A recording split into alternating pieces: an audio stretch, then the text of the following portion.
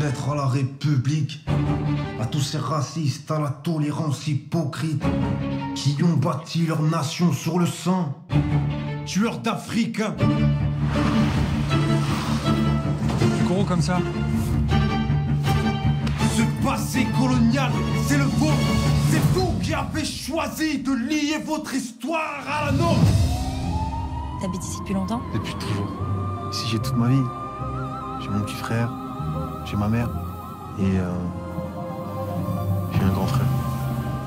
La vie, c'est une question de choix, c'est tout. Sauf que toi, ton choix, il a tué papa. C'est mon choix, il a tué papa Regarde, maman. Fous-moi la paix. Laisse-moi les prendre. Hors de ma vie. Je n'ai rien à voir avec toi. Détermination, car ceci n'est pas une. Maman, moi, au lieu de parler, tu as de l'oseille, va le chercher.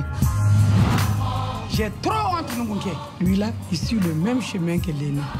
Et je vais maintenant vous révéler le sujet de votre débat. L'État est-il seul responsable de la situation actuelle des banlieues en France? Vous avez la parole. La banlieue, je la connais.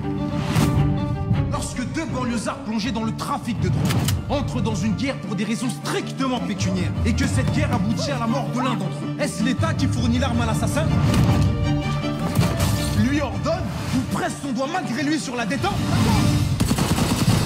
J'emmerde votre juge, j'emmerde votre hypocrisie